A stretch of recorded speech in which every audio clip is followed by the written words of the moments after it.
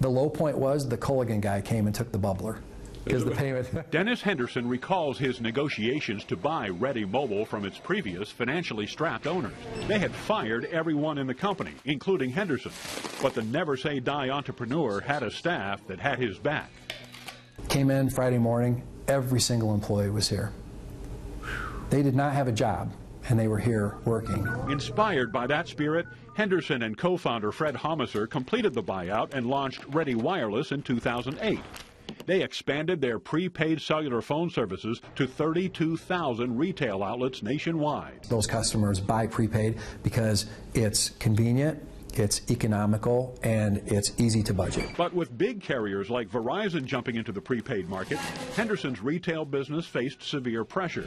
So his Hiawatha company adapted, becoming a wholesale supplier, Really, we're like a white label provider of wireless services. which means they get all the mobile units, handle the software, and set up the prepayment plans for any business that wants to launch a retail cell phone brand. Voice services, text services, data services, and devices for uh, really end user, any end user customer. And they've come a very long way. Two years ago, let's say, when all we operated was our retail brands, we had about 50,000 end user subscribers.